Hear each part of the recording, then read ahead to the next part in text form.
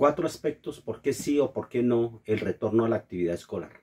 El primero, no, porque el gobierno ni las autoridades sanitarias han controlado ni le pueden garantizar a la familia que la pandemia no se siga expandiendo.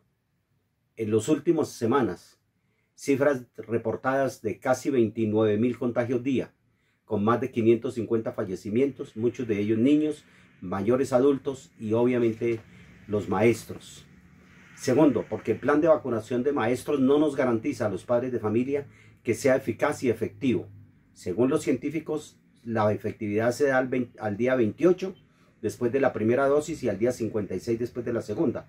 Quiere decir de que todavía no son los tiempos para ese retorno alternancia o actividad presencial. Tercero, porque solicitamos de la ministra de Educación que nos entregue y nos traslade copia de todas las actas de asambleas de padres de familia mediante las cuales ellos voluntariamente impartieron, debatieron, analizaron y aprobaron los protocolos de bioseguridad de cada institución educativa.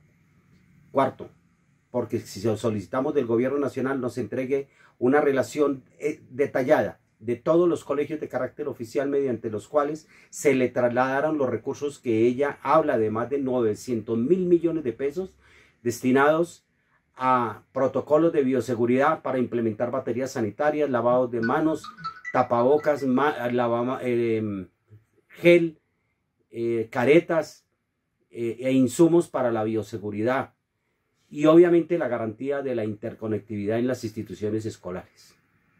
Y quinto, en los colegios que estén dispuestos, que nos entregue una relación de cuáles son y cuáles son las garantías que están establecidas para que los niños vayan a la alternancia o a la actividad presencial. Y en los privados y jardines, pues los que tengan las condiciones, los padres asumen sus propios compromisos y responsabilidades frente a enviar a sus hijos a las instituciones previo consentimiento como lo establece el Ministerio de Educación y la autoridad sanitaria.